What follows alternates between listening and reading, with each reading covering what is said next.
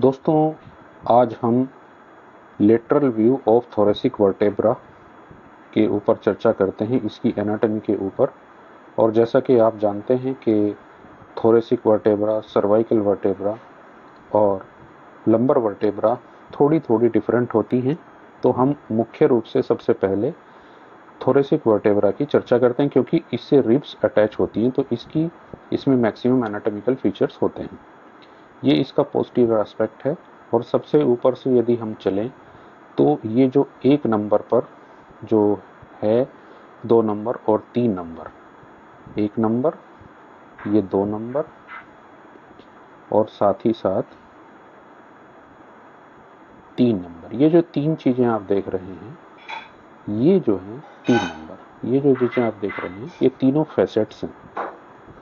और ये जो फैसेट्स हैं ये रिब के अटैचमेंट के लिए बेसिकली होते हैं। तो इनको हम फैसेट्स कहते हैं। आ, इसके बाद अगली जो स्ट्रक्चर होती है वन टू थ्री फैसेट्स हो गए हैं। और अगली जो स्ट्रक्चर है जो को आप नंबर चार पर यहाँ पे आप देखेंगे कि पाँच छः जो है ये तो आर्टिकुलर सरफेसेस हैं और नंबर चार पे जो है ये एक महत्वपूर्ण स्ट्रक्चर है जिसको हम इंटरवर्टेब्रल फोरामेन कहते हैं। या इंटरवर्टेब्रल फोरामिना भी इनको कहते हैं क्योंकि ये दो होते हैं, दोनों तरफ़। और इनका महत्व क्या होता है कि यहाँ से जो स्पाइनल नर्व्स होती हैं, वो निकलती हैं। स्पाइनल नर्व का एग्जिट होता है तो ये इंटरवर्टेब्रल फिनामिना हो गया फोरामिना सॉरी इसके बाद जो पाँच और छः नंबर पर आप स्ट्रक्चर देख रहे हैं, वो ये पाँच नंबर की स्ट्रक्चर हो गई है, ये ये सुपीरियर और जो छः नंबर की जो स्ट्रक्चर होगी, वो ये ये सॉरी इन्फीरियर पाँच नंबर की इन्फीरियर आर्टिकुलर सरफेस यानी कि ऊपर वाली जो वर्टेबरी है, उसकी नीचे वाली होगी इन्फीरियर आर्टिकुलर सरफेस और जो छः नंबर पर है, ये नीचे वाली वर्टेब्रा की सुपीरियर सरफेस होगी, जो कि ऊपर वाली की इंफीरियर आर्टिकुलर सरफेस से आर्टिकुलेशन करेगी। यानी कि जो आर्टिकुलेशन होता है इन दोनों का तो इंफीरियर आर्टिकुलर प्रोसेस और सुपीरियर आर्टिकुलर प्रोसेस ये दो चीज़ें यहाँ पर होती हैं। थोरेसिक वर्टेब्री की आगे की एनाटमी में आप देखेंगे सात नंबर। जो सात नंबर की जो स्ट्रक्चर है बेसिकली यहाँ पर जो आप देख रहे हैं, बीच में आप डिस्क भी देख पा रहे होंगे आराम से। दो दो डिस्क जहाँ पे डीआईसी डिस्क लिखा हुआ है, जो दोनों वर्टेब्रा को सपोर्ट करती हैं। जो सात नंबर है, ये पेडिकल है। एक वर्टेब्रा का क्या है ये? पेडिकल है।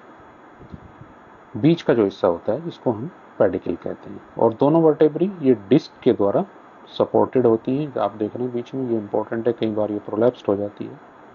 और दोनों आर्टिकुलर सरफेस से जुड़ी रहती हैं और पीछे की तरफ़ की जो प्रोसेस हैं वो मैंने आपको बता दी, जिसमें कि इंटरवर्टेबल फोरामिना होते हैं।